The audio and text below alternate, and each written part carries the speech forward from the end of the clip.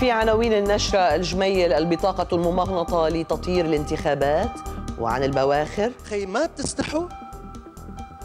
هالإصرار بالقوة بدنا نجيبه. وحين؟ المجلس الدستوري يدرس الطعن بقانون الضرائب والقرار في مهلة أقصاها 15 يوما. جريمة في حارة صيدا وتوقيف القاتل. أنا بطلب من الدولة مرة واثنين وثلاثة وعشرة مليون.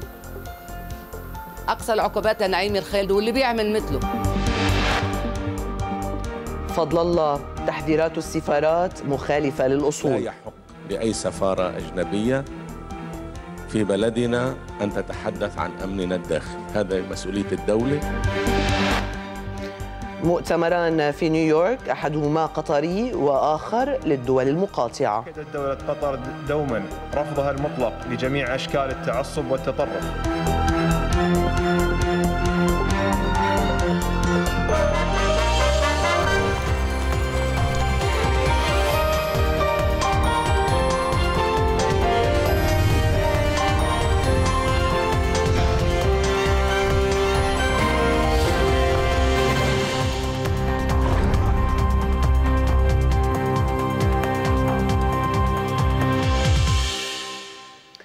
من قناة الجديد في بيروت. أهلا بكم إلى نشرة الظهيرة.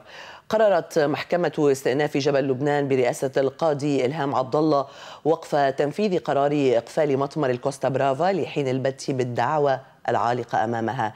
والمجلس الدستوري عقد جلسة اليوم من دون صدور أي قرار بشأن الطعن المقدم إليه من عشرة نواب بدستورية القانون الرقم 45 الخاص بالضرائب. وستعقد الجلسة الثانية الأربعاء المقبل ضمن المهلة القانونية المحددة ب 15 يوما من تاريخ جلسة اليوم. وبالأمس لزمت الحكومة إصدار البطاقات البيومترية بعقد رضائي لشركة ساجيم وتبلغ قيمته حوالي 40 مليون دولار. ما عد فضيحة لا سيما وأن الذريعة لهذا الاتفاق هي نفسها التي تحضر في كل ما يخص الانتخابات النيابية والتي استخدمت المرة الماضية لتبرير التمديد الثالث لمجلس النواب وهي ضيق الوقت والمهل. أعلن رئيس حزب الكتائب النائب سامي الجميل أن البطاقة الممغنطة فضيحة كبرى وهي تضرب حرية الناخب وستكون من الأسباب الأساسية لتزوير الانتخابات. البطاقة الممغنطة خبرية بريء الذات. يلي حكينا عنها من أول نهار وقت كنا عم نناقش قانون الانتخابات واتهمنا بالشعبوية. البطاقة الممغنطة أصبحت اليوم سبب من الأسباب الأساسية أو لتزوير الانتخابات. إذا تم إقرار هيدي البطاقة وتم تنفيذ هيدي البطاقة لأنه كلنا بنتذكر انتخابات الألفين كيف احتجزت البطاقات الانتخابية وكيف كانت البطاقة الانتخابية أداة للضغط على الناخبين. بالتالي من الأول عم نقول لكم أنه هيدي البطاقة هي ضد حرية الناخب وبتضرب حرية الناخب. لهذا السبب بأكثر دول ديمقراطية بالعالم مثل فرنسا ما في بطاقة ممغنطة ولا في بطاقة انتخابية. بيقدر واحد ينتخب برخصة الصيد. كرمال يضمن أنه ما حدا بيقدر يمنعنا أنه نمارس حقنا بالانتخاب. بعدين كلفتها 120 مليون دولار. عم تمزحوا. وبدكم تلازموها بلا مناقصات. عم تمزحوا. بدكم تعملوها محل التذكرة يعني بطاقة الهوية. يعني بدكم توزعوا أربعة مليون بطاقة من هلأ للانتخابات النيابية عم تمزحوا. يعني يا أما عم تعملوا كل هالخبرية كرمال تطيروا الانتخابات أو عم تعملوا كل هالخبرية تتعملوا صفقة جديدة وتلزيم جديدة بالتراضي. بكل الحالات هيدي الخبرية هيدي فضيحة. النائب الجميل تحدث عن البواخر وقال تريدون بالقوة استئجار البواخر فيما يمكن تلزيم الأمر للقطاع الخاص. ألا تخجلون من صفقة البواخر وطلب من الرئيس بري إسقاط حصانته وليذهبوا إلى القضاء؟ في موضوع بواخر الكهرباء. مكملين بالفضايح. وهون اسمعوني مزبوط. هول البواخر من أول نهار قلنا لكم. من أول نهار أول ما شفنا خطة الكهرباء تبعكم من تقريبا رح يصيروا 8 أشهر. من أول نهار قلنا لكم أنتم هدفكم جيبوا هول بخرتين على لبنان. من أول نهار. وسمينا اسم الشركة من أول نهار. شو هالصدفة؟ أنه اليوم ما عم ينحكى إلا بهيدي الشركة. خيي هيدا الإصرار خي ما بتستحوا؟ هالإصرار بالقوة بدنا نجيبه. نعمل بالأول شيء بدنا نجرب بلا مناقصة. بتقوم لقيامه نعمل مناقصة على قياس دفتر شروط على قياس نبعته على دايرة المناقصات أول مرة بيردها تاني مرة بيردها ثالث مرة بالقوة بده يعملها. مثل ما أنتم بدكم. قلنا لكم من أول نهار. مش مهم تبعتوها على دايرة المناقصات. مهم دفتر الشروط مين عم يعمله مش شغلتكم أنتم تعملوا دفتر الشروط. دايرة المناقصات بدها تعمل دفتر الشروط. لأنه عم تعملوها قياس هالشركة. يعني ما بتستحوا وشو ناقصنا بالآخر؟ ناقصنا هاي الشركة طلع بيانات. لأنه عارفة إنه هي ربحانة. يعني على المفضوح الخبريه ها؟ على المفضوح. الشركة يلي اتفقتوا أنتم عم تطلع بيانات تهددنا إنه إذا بنحكي بعد عن صفقات البواخر بدها تاخذ إجراءات قضائية بحقنا يعني بلشنا أول شيء من وزراء الحكومة يدعوا علينا هلا صار دور الشركة تدعي علينا. بعد في حدا حابب يدعي يا عمي؟ والله روحوا على القضاء وخلصونا بقى. وهي الحصانة شلناها. روحوا يا خيي عند الرئيس بري. من هلا عم نبلغوا للرئيس بري نحن الحصانة شلناها. روحوا على القضاء يا خيي. إنه بالقوة بدنا نستأجر على خمس سنين بواخر بمليار و800 مليون دولار بالوقت يلي بالوقت يلي أقرينا نحن قانون الشراكه بين القطاع العام والقطاع الخاص وقادرين نحن اليوم بلا ما نكوف بلا ما نكلف الدولة. ليرة؟ نسمح للقطاع الخاص يجي يعمر معامل من دون ما نكلف خزينة الدولة دولار واحد. خي ليه عم تعملوا هيك؟ وقحين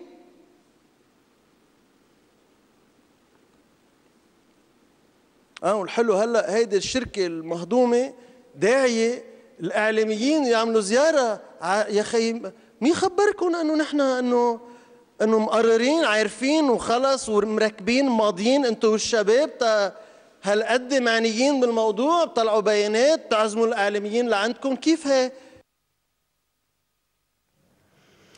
المجلس الدستوري يلتئم للبحث بالطعن في قانون الضرائب. عقد المجلس الدستوري أولى جلساته اليوم لمناقشة الطعن المقدم من النائب سامي جميل بقانون الضرائب الجديد. الجلسة سبقها بيان صادر عن رئيس المجلس الدستوري عصام سليمان. جاء ردا على ما أسماه اللغط في وسائل الإعلام بشأن الطعن المقدم إلى المجلس الدستوري وبث معلومات عارية من الصحة.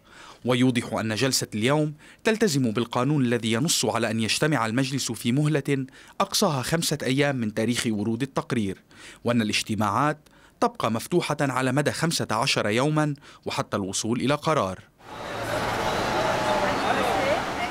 غادر أعضاء المجلس بعد الجلسة ملتزمين بصرامة بسرية المذاكرة وموجب التحفظ كما جاء في بيان رئيس المجلس لذلك على أن يجتمعوا نهار الأربعاء.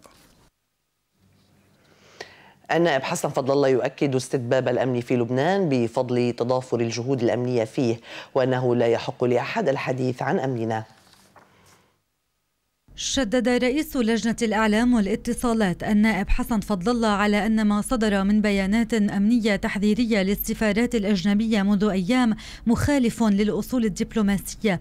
وفي خلال ورشة عمل حول تغطية الانتخابات النيابية التي ينظمها المجلس الوطني للإعلام المرئي والمسموع بالتعاون مع المرجعية الناظمة للاتصالات والإعلام في إيطاليا لفت فضل الله إلى أن الإعلام معني بالتصدي لمثل هذه الظواهر. لا يحق لأي سفارة أجنبية في بلدنا أن تتحدث عن أمننا الداخلي. هذا مسؤولية الدولة بأننا في لبنان استطعنا أن نحمي أمننا ونحرر أرضنا.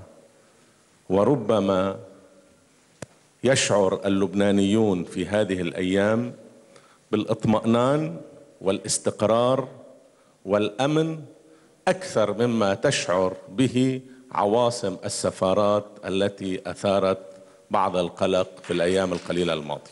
وفيما خص الانتخابات النيابية أكد فضل الله الحرص على إجرائها بشفافية. وواحدة من أهم الإيجابيات أننا استطعنا أن نقر قانونا جديدا للانتخابات. ربما لا يلبي طموحات بخاصة أننا نحن من أصحاب فكرة القانون الانتخابي القائم على النسبية الكاملة وعلى لبنان دائرة انتخابية واحدة. لا نريد لأي تعقيدات تقنية أيا تكن أن تشكل عقبة في وجه إجراء الانتخابات في مواعيدها. نحن نريد لهذه الانتخابات أن تجري في مواعيدها وأن تكون انتخابات شفافة. وتمنى فضل الله أن تكون الانتخابات بعيدة عن أي محاولة تلاعب قبل إجرائها. قتلها أمام ابنتها وثلاثة أشخاص آخرين ثم سلم نفسه. جريمة مروعة هزت منطقة حارة صيدا مساء الأحد. ذهبت ضحيتها الفلسطينية فاطمة خيزران 49 عاما التي قتلها طليقها نعيم الخالدي 53 عاما. بعدما تسلل إلى منزل زوجته السابقة الكائن في منطقة تعمير الحارة في صيدا. من على الشرفة أثناء وجودها وابنتها وإحدى جاراتها برفقة ابنتها أيضا والعاملة الأجنبية في المنزل. وتوجه مباشرة نحوها فحاولت الاستعانة بجارتها جارتها لكنه أطلق النار عليها من بندقية صيد كانت بحوزته فأرداها على الفور على مرأة من جارتها وابنتها. بطلب من الدولة مرة واثنين وثلاثة وعشرة مليون أقصى العقوبات لنعيم الخالد واللي بيعمل مثله. اللي عم نشوفهم على التلفزيون. إعدام. كنت عندها وأمي. ما شفناه إلا نط عن البرندة وصى ورجع نط عن البرندة. ولاحقا قام الجاني نعيم الخالدي بتسليم نفسه إلى القوى الأمنية في نظارة قصر عدل صيدا. وفي المعلومات أن الخالدي اعترف بجريمته وأنه كان على نزاع مع زوجته السابقة على إثر خلافهما على ملكية المنزل وتقسيمه وأنه كان ينوي الانتحار بعد ارتكاب الجريمة لكنه تراجع في اللحظة الأخيرة وفضل تسليم نفسه. أخمد عناصر من الدفاع المدني فجر اليوم حريقا شب قرابة الرابعة في الطابق الثاني من سرايا زحلي في مكاتب تابعة لوزارة المالية. وقد عملت العناصر على إخلاء المبنى وإنقاذ 19 شخصا بين عناصر قوى أمنية وموقوفين من المكاتب وعن الأسطح بواسطة السلالم.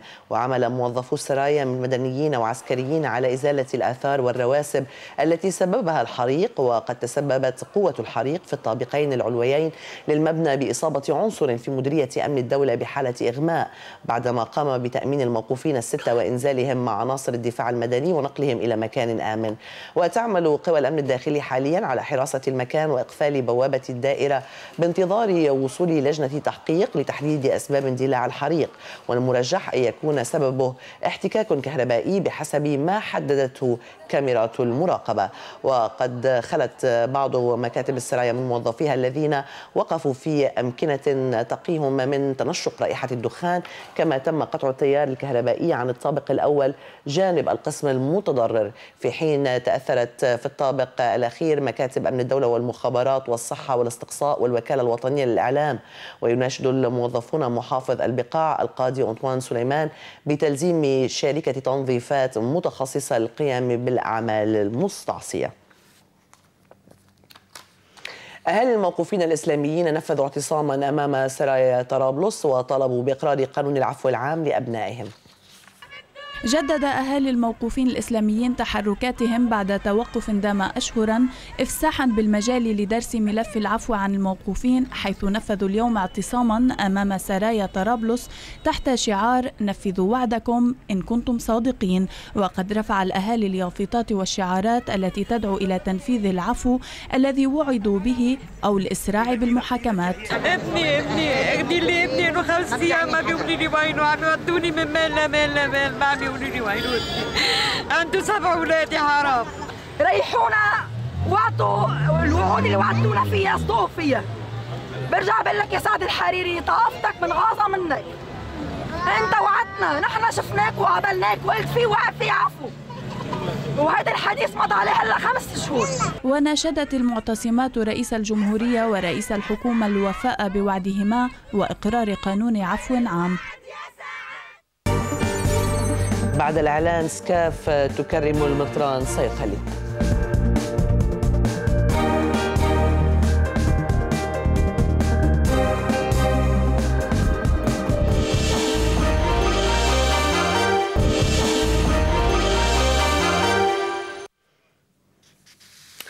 أهلا بكم من جديد. قضت المواطنة ميم حاء من بلدة كفرة قضاء بنت جبيل بطلق ناري ما أدى إلى وفاتها. التفاصيل مباشرة مع الزميله فتون رعد. فتون أهلا بك. ما أبرز المعلومات المتوفرة لديك حتى الساعة؟ داليا تتحضر كفرة لتشييع ابنتها مايا حمدان البالغة حوالي 33 عاما. مايا قضت بسلاح يعني بسلاح صيد. للأسف هناك يعني ملابسات مأساوية في هذا الحادث. سيطلعنا عليها أكثر رئيس بلدية كفرة دكتور معن عبيدي. دكتور كيف توفت مايا؟ مساء الخير. بدنا أول شيء نعزي أهلها لمايا ونعزي زوجها وأولادها وإخوتها وأهلها وآل حمدان الكرام. شو صار؟ شو صار بقلب البيت حتى توفت مايا؟ أنا أوكي. مايا هي وزوجها كانوا بدهم يتحضروا إنه ينزلوا على بيروت وبيتهم مطرف مثل ما نكون شايفينه قريب. فعادة البيوت المطرفة عم يجوا عليها الخنازير وبيخربوا بالنسب. فعمل فتلي زوجها وبهاي الفتلة إنه نزل طلع على الجنينة على النصب التينات والعنبات والخضرة. ف ورجع على البيت حط بارودة الصيد بغرفة صغيرة. بهاي الغرفة إنه القضاء والقدر هي اختارت إنها تصلي بهاي الغرفة. بس هو شال الخرطوش اللي فيها. يمكن يكون في شي ضربة معلق فيها وهو فات على المطبخ. وكانت البارودة محطوطة. هي وعم تصلي مايا يمكن على الأغلب إنه إجا ابنها حط إيده على الزناد وحدثت الحادثة يعني للأسف الشديد إنه طلع الضرب فيها وهذا اللي صار. شكرا. لك داليا مايا لم يعني لم تتوفى على الفور الحادثة وقعت الساعة السابعة مساء أمس منذ الساعة السابعة وحتى الساعة العاشرة مساء كان هناك محاولات لإنقاذها ولكن باءت بالفشل. الطلقة أتت في ظهرها طفل مايا عمره أربع سنوات فقط. وطبعا يعني هذه الحادثة هي للأسف مناسبة للتوعية على مخاطر استخدام سلاح الصيد في المنزل وكيفية استخدامه بانتباه شديد. داليا؟ شكرا للزميلة فتون رعد التي كانت معنا مباشرة من كفرة. كرمت رئيسة الكتلة الشعبية السيدة ميريام سكاف المطران صيقلي وقالت يمكن أن نختلف على العناوين الداخلية لكن لا يمكن أن نزايد على جيشنا. كرمت رئيسة الكتلة الشعبية ميريام سكاف المطران نيفون صيقلي سفير الكنيسة الأرثوذكسية في موسكو بمناسبة أربعين عاما على نيابته الأسقفية. في احتفال أقيم في كازينو عرابي في زحلة بحضور ممثلين عن الرؤساء الثلاثة وعدد من الشخصيات السياسية والمرجعيات الدينية. واعتبرت سكاف أن لبنان هو أول بلد انتصر على الإرهاب وأن الخلاف بين اللبنانيين كان نابعا عن عدم تقدير الخطر. مسيحيي الشرق أوفياء وما تأخرتوا عن النداءات. واليوم بعدنا عم نلمس الخطر. يلي بيتطلب منا أولا إنه نعترف بوجوده. وما نقلل من شأنه ولا نعتبره مجرد كذبة لأنه الكذب كلفنا كتير وزيف الحقيقة. مواقف عم تعتبر الأمر ما بيستاهل دق جراس إلا علينا. تصريحات بتخلي الإرهاب يعيش مرتاح بجرودنا. تحركات وعبارات بتنصر من منطقة تطرف وبتعزز وجود الإرهابيين وبنفس الوقت بتهدد وجودنا كلبنانيين. التاريخ ما بيرحم وبيسجل المواقف وما بينسى. لا تستمعوا إلى الشائعات ولا تصدقوا أن تهديدا ما يهدد أمنكم واستقراركم المالي والاقتصادي والاجتماعي. لا تصدقوا لأن هذه التهديدات أتت على أثر هذا الانتصار العظيم الذي لا يجوز أن يكون باهتا لأي سبب من الأسباب. نحن انتصرنا بإجماع لبناني نادر ودفعنا ثمنا غاليا من شهداء الوطن. كي نفرح بهم ونفرح معهم في تحرير الأرض.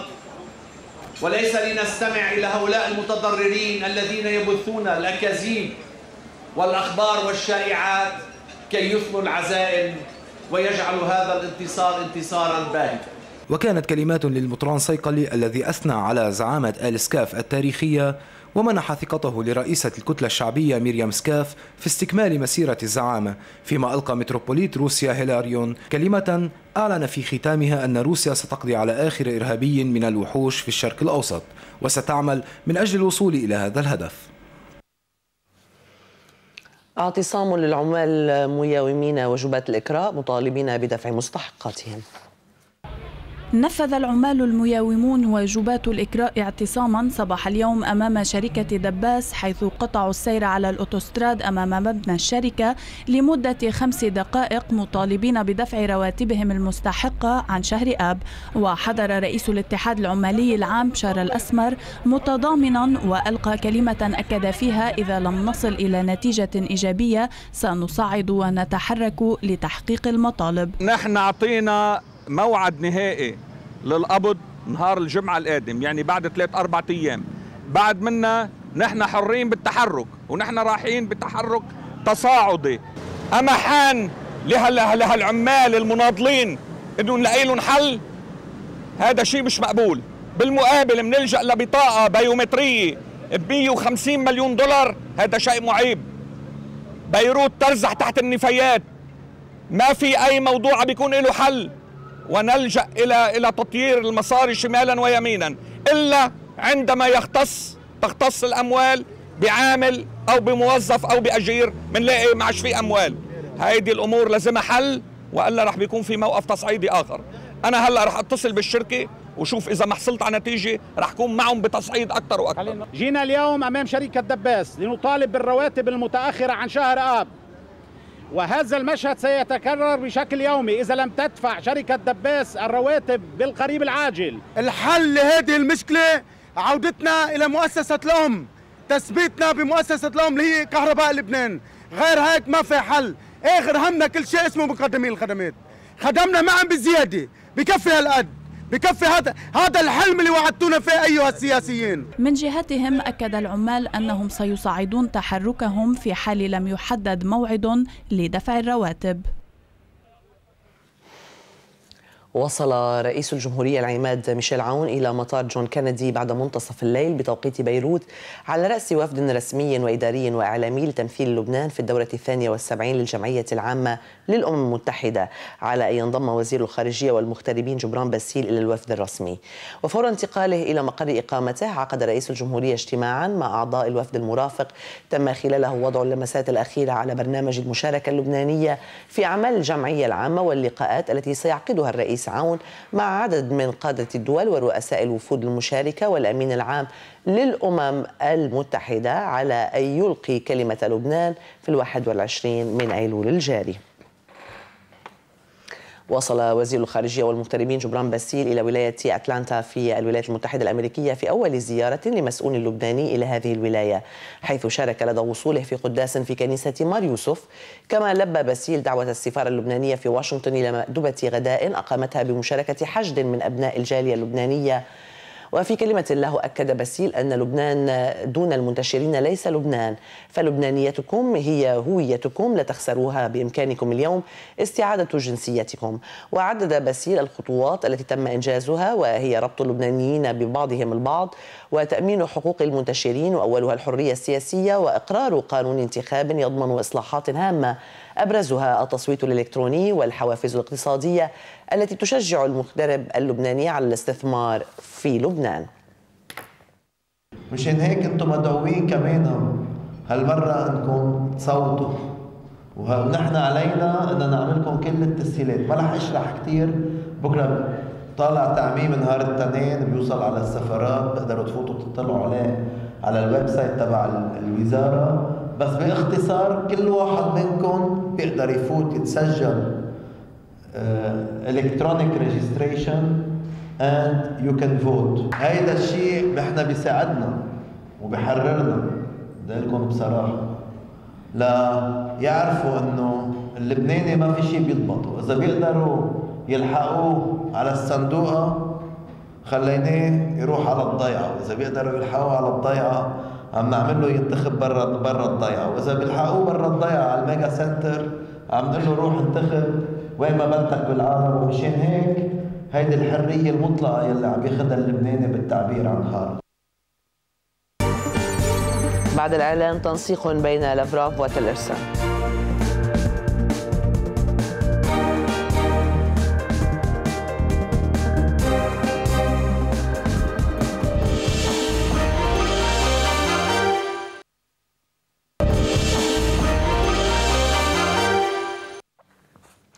أهلا بكم من جديد محاربة الإرهاب والقضية الفلسطينية تتصدران جدول أعمال المنتدى القطري في نيويورك حول أمريكا والعالم الإسلامي.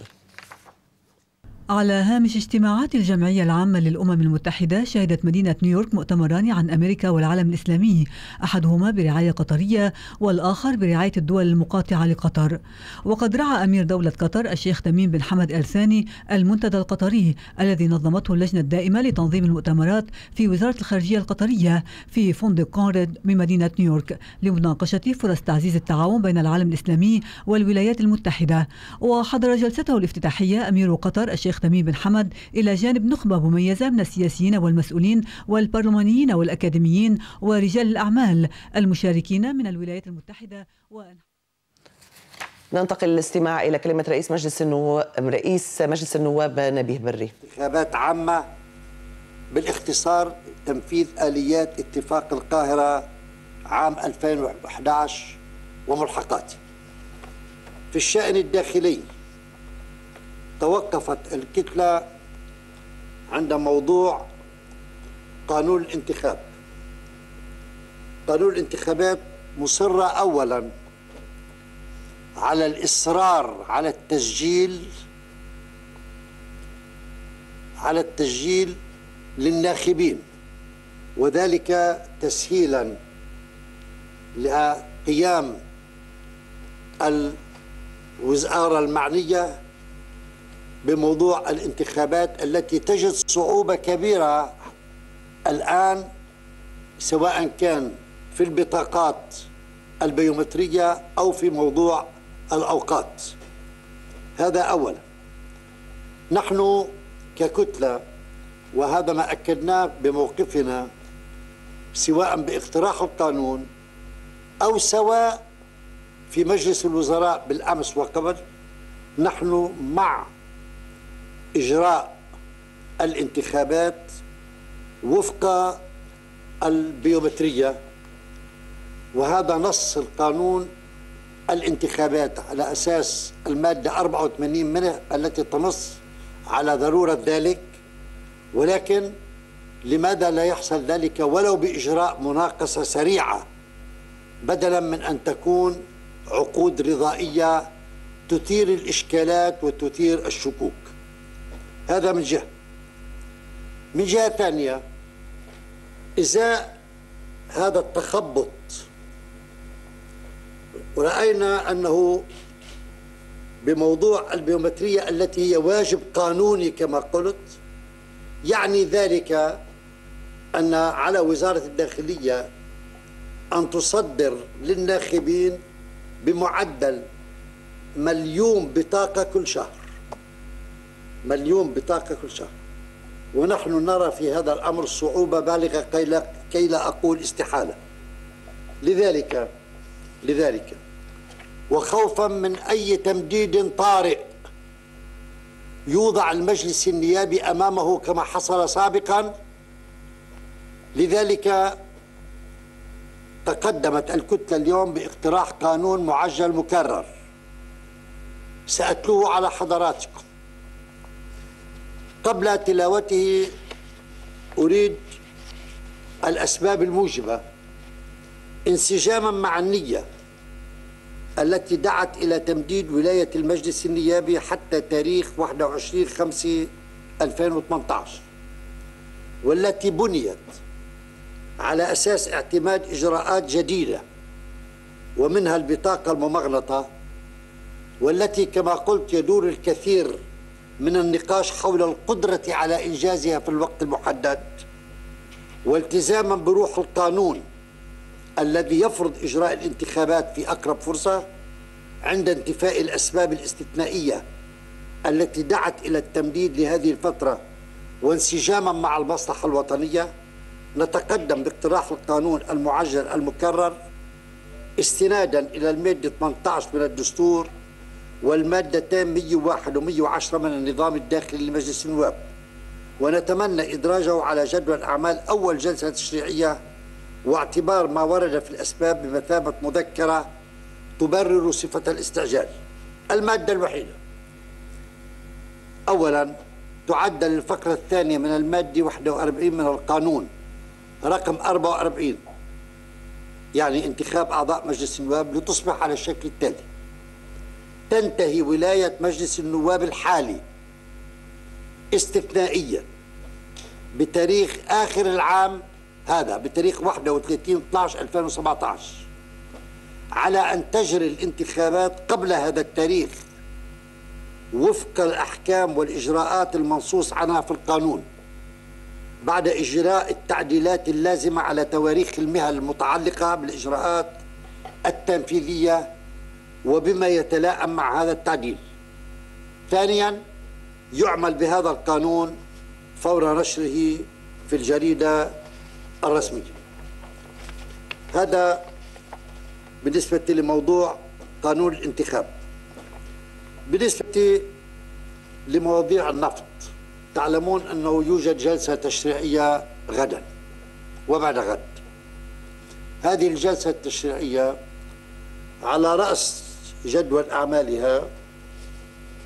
القانون رقم 391 أي وضع الأحكام الضريبية المتعلقة بالأنشطة البترولية وفقا للقانون 132 تاريخ 2010 هذا القانون من الضرورة بمكان لإطلاق ورشة النفط وبالتالي وضع لبنان على السكة الصحيحة أمام من يرغب في الحفر وفي الاستثمار بالنسبة لهذا الموضوع ولكنه بنفس الوقت برأيي أنا هو الباب الذي يفتح الآن إذا كان الهدف فعلا أن لبنان يخلص من ديونه أن يترافق هذا القانون. الذي لا شك أن أن مجلس النواب سيعالج الأمر غدا والذي يجب إقراره والكتلة مع هذا الإقرار عندئذ رأينا أنه أيضا يجب أن يتبع إقرار هذا القانون القوانين التالية أولا اقتراح قانون الصندوق السيادي اللبناني. صندوق سيادي كي يتخصص هذا الصندوق لأجل سداد الدين على الأقل أو استثمارات لأجل مصلحة هذا السداد. الكتلة الكتلة وقعت قانون السيادة هذا من الزميلين آه، أنور الخليل وياسين جابر. وغدا سيتقدم هذا القانون قانون السيادة البحرية. القانون الثاني هو قانون الشراكة الوطنية. ستتقدم الكتلة الأسبوع المقبل في قانون الشركة الشركة الوطنية. الأسبوع المقبل ستتقدم باقتراح قانون من قبل من قبل أحد أفراد الكتلة أو أحد أعضائها الأسبوع المقبل. وبعده قانون البر. كي يلاقي البر موضوع البحر أو المياه الإقليمية. هذا ما رغبت أن أعلن عنه آملا إن شاء الله أن نكون بهذا الأمر نخدم لبنان ومصلحة لبنان فوق كل شيء. معلوم؟ حضرتك دولة الرئيس يعني هي ثاني مرة بتحكي عن موضوع إجراء الانتخابات إذا مش جاهزين، بس اليوم عم بتحط القوى الأخرى أمام أمر واقع من خلال هذا القانون المعجل المقرر لأنه امبارح اتفق خلافا لأحكام القانون الجديد على بطاقة هوية بيومترية وليس بطاقة ممغنطة. لا متفقين.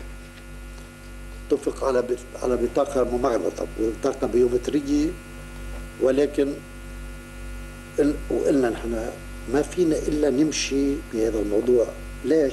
أصلا نحن كلنا مقترحينه ثانيا هذا موجود مثل ما قلت لك هلا بالنص بالمادة 84 في ليش نخالف القانون بهذا الموضوع ولكن مر شهور من وقت اللي مددنا ليش مددنا؟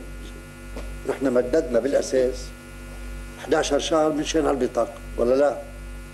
طيب ثلاث أربع أشهر مروا ما انعمل شيء أصبح هذا الوقت محرج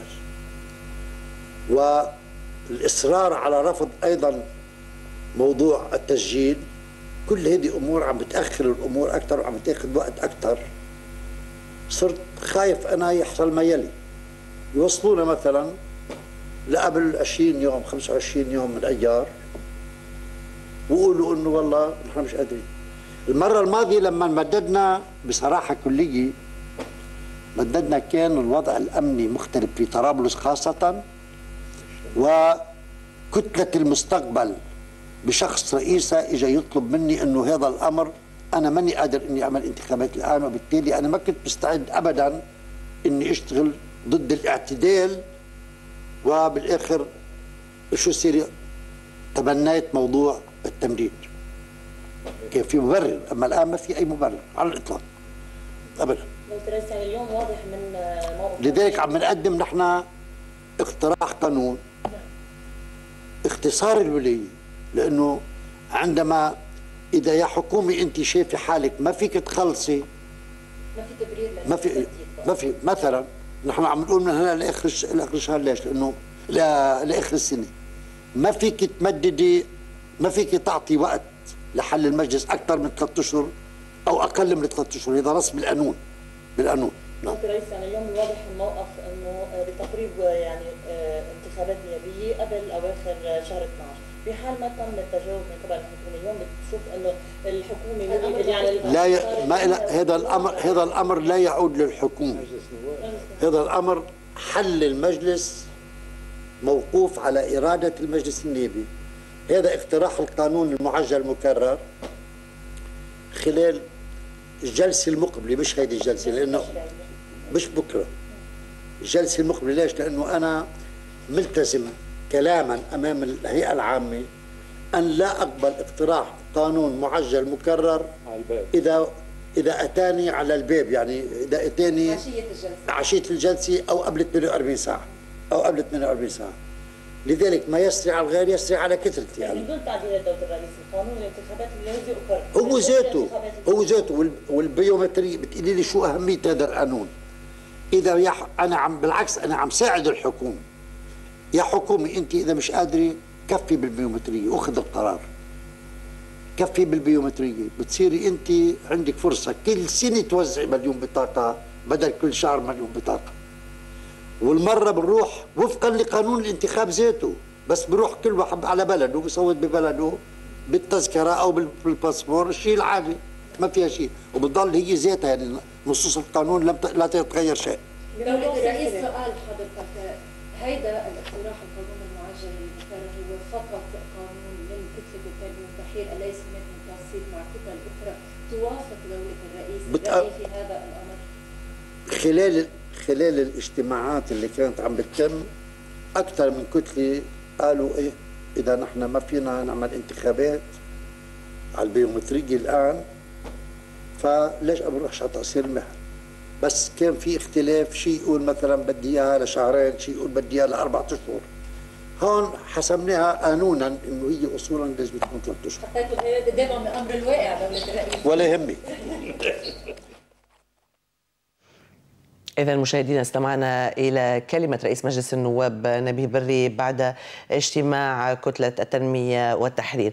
أما الآن فنعود لمتابعة التقرير الذي آه، كنا نعرضه قبل كلمة آه، الرئيس بري وهو يتناول أعمال المنتدى القطري في نيويورك حول أمريكا والعالم الإسلامي. على هامش اجتماعات الجمعية العامة للأمم المتحدة شهدت مدينة نيويورك مؤتمران عن أمريكا والعالم الإسلامي أحدهما برعاية قطرية والآخر برعاية الدول المقاطعة لقطر. وقد رعى أمير دولة قطر الشيخ تميم بن حمد آل ثاني المنتدى القطري الذي نظمته اللجنة الدائمة لتنظيم المؤتمرات في وزارة الخارجية القطرية في فندق كونراد بمدينة نيويورك لمناقشة فرص تعزيز التعاون بين العالم الإسلامي والولايات المتحدة. وحضر جلسته الافتتاحية أمير قطر الشيخ الشيخ تميم بن حمد إلى جانب نخبة مميزة من السياسيين والمسؤولين والبرلمانيين والأكاديميين ورجال الأعمال المشاركين من الولايات المتحدة وأنحاء العالم الإسلامي إضافة إلى ممثل عن الأمين العام للأمم المتحدة. ودعا وزير الخارجية القطري الشيخ محمد بن عبد الرحمن الثاني في كلمته المجتمع الدولي إلى اتخاذ كافة التدابير لمحاربة ظاهرة الإرهاب لافتا إلى أن الفشل في معالجة الأسباب الاجتماعية والاقتصادية للعنف سيسهم في استمراره. ومن المؤسف في هذا الصدد أن نلحظ بأنه كلما ازدادت الصراعات والنزاعات ومعاناة الشعوب كلما ازداد عجز المجتمع الدولي وآلياته عن التصدي لها. الأمر الذي يتطلب من المجتمع الدولي اتخاذ كافة التدابير الكفيلة بمحاربة هذه الظاهرة وبوصفها خطرا يهدد الأمن الفردي والجماعي ويهدر حقوق الإنسان. وفي هذا الصدد أكدت دولة قطر دوما رفضها المطلق لجميع أشكال التعصب والتطرف وما تولده من عنف وإرهاب كما دعت إلى ضرورة الإسهام الجاد ضمن إطار الجهود الدولية في مكافحة هذه الظاهرة الخطيرة التي تتناقض مع قيم كل الديانات السماوية والحضارات الإنسانية. ولم تغب القضية الفلسطينية عن المنتدى حيث طالب الوزير القطري الولايات المتحدة والمجتمع الدولي بتسوية هذه القضية وإنهاء الصراع في منطقة الشرق الأوسط. نتطلع إلى المجتمع الدولي وبخاصة الولايات المتحدة في ظل الإدارة الجديدة التي أعلنت عن رغبتها في تحقيق السلام في الشرق الأوسط والتي نثمن جهودها في هذا الشأن لبذل المزيد من الجهود لإعادة استئناف المفاوضات الجادة لتسوية القضية الفلسطينية وإنهاء احتلال الأراضي العربية بناء على برنامج زمني محدد ووفق قرارات الشرعية الدولية ومبادرة السلام العربية على أساس مبدأ حل الدولتين. وتزامنا عقد مؤتمر التواصل الحضاري بين الولايات المتحدة الأمريكية والعالم الإسلامي بدعوة من رابطة العالم الإسلامي التي تتخذ من السعودية مقرا لها بمشاركة منظمة الأمم المتحدة وحضور نحو 450 عالما ومفكرا يمثلون 56 دولة وكبرى المؤسسات الفكرية والثقافية الإسلامية والأمريكية. وتقدم الحضور الأمين العام لرابطة العمل الإسلامي الشيخ السعودي محمد بن عبد الكريم العيسى والأمين العام لمنظمة التعاون الإسلامي يوسف بن أحمد العثيمين ورئيس شؤون المسجد الحرام والمسجد النبوي عبد الرحمن السديس ورئيس الهيئة العامة للأوقاف والشؤون الإسلامية في الإمارات محمد بن مطر الكعبي ووكيل الأزهر في مصر عباس شومان. التقى وزير الخارجية الأمريكي ريكس تيلرسون في نيويورك أمس نظيره الروسي سيرجي لافروف وذلك قبيل بدء أعمال الجمعية العامة للأمم المتحدة. وأعلنت وزارة الخارجية الأمريكية في بيان أن الوزيرين جددا التزامهما الحد من أعمال العنف في سوريا وإيجاد الظروف المؤاتية من أجل إحراز تقدم في العملية السياسية في جنيف. وصرحت المتحدثة باسم وزارة الخارجية الروسية ماريا زخاروفا أن اللقاء شمل التعاون حول الأزمة في سوريا والملفات في الشرق الأوسط والاتفاق الموقع في 2015 حول النزاع في أوكرانيا والذي لا يزال يواجه صعوبات لتطبيقه. كان في النشر الجميل البطاقة الممغنطة لتطهير الانتخابات وعن البواخر. خي ما بتستحوا هالإصرار بالقوة بدنا نجيبه. وحين؟ المجلس الدستوري يدرس الطعن بقانون الضرائب والقرار في مهلة أقصاها 15 يوماً. جريمة في حارة صيدا وتوقيف القاتل. أنا بطلب من الدولة مرة واثنين وثلاثة وعشرة ومليون أقصى العقوبات نعيم الخالد واللي بيعمل مثله. فضل الله تحذيرات السفارات مخالفة للأصول. لا يحق لأي سفارة أجنبية في بلدنا أن تتحدث عن أمننا الداخلي. هذا مسؤولية الدولة. مؤتمران في نيويورك أحدهما قطري وآخر للدول المقاطعة. أكدت دولة قطر دوما رفضها المطلق لجميع أشكال التعصب والتطرف.